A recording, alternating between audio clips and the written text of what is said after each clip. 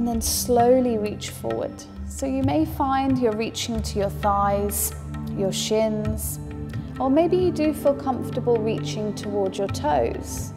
And I don't want you to hold on and force the stretch. It's all about just relaxing into it. So maybe if your hands reach towards the floor, you can stay here and just gently ease yourself into the fold. So maybe if you find forward folding quite challenging, you can grab your bolster, your pillow, your block, and you can just bring your hands forward and just turn your head to one side. Or maybe you can bring your forehead down and just relax yourself on the block.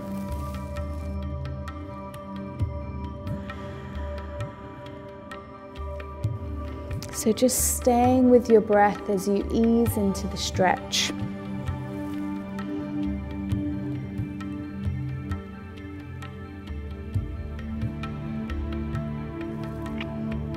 Great, well done everybody. Just walk the hands back towards you, lift up slowly, and just place your block to one side. We're going to tuck our right leg in.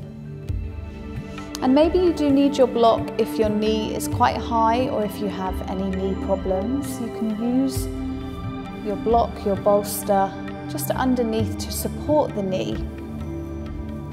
So please do that if you feel you need to. Reach your arms up as you breathe in. And then as you breathe out, come forward. And once again, we're not pulling, we're not pushing, we're not really holding on, but we're just coming to a place where we feel really comfortable, really relaxed, somewhere we can soften into the stretch.